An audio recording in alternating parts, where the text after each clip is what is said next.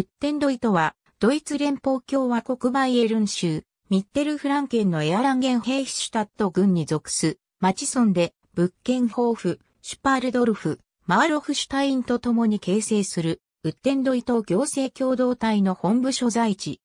ウッテンロイトは、エアランゲンの東約 5km のシュババッハ川の渓谷に位置する。隣接する自治体は、ドルミッツ、ノインキルヒエン・アムブラント、マーロフシュタイン、シュパールドルフ及び物件豊富である。南は、ゼーバルダー・ライヒスバルトに面している。この町は、公式には6つの地区で構成される。このうち小集落や孤立農場などを除く集落を以下に列記する。行政上の課題は、エアランゲンからクレーフェンベルクへの道路のバイパス建設である。ウッテンドイト議会は、市長を含む10議席からなる。図柄、基部は、金字で、上の境界線は波状、その中に黒い水車が描かれている。上部は赤字で斜めに交差した2本の金の句は、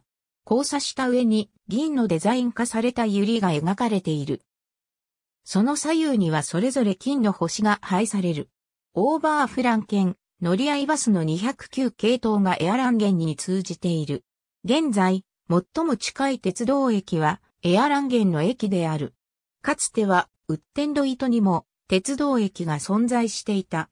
それは、ゼークーと呼ばれるエアランゲングレーフェンベルク線の駅であったが、1960年代に廃止されてしまった。ありがとうございます。